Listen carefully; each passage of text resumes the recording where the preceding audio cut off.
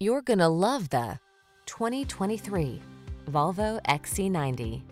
Here's an elegantly styled XC90 that's supremely comfortable, secure, and satisfying to drive.